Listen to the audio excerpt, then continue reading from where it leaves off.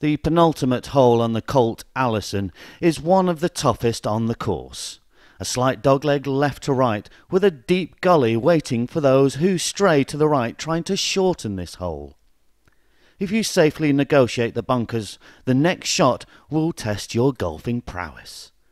Playing slightly downhill with a medium to long iron over a lake to a kidney shaped green well patrolled by sand. The target is quite small and slopes from back left to middle right. The bunkers are usually busy here, so a bogey 5 is never a bad score.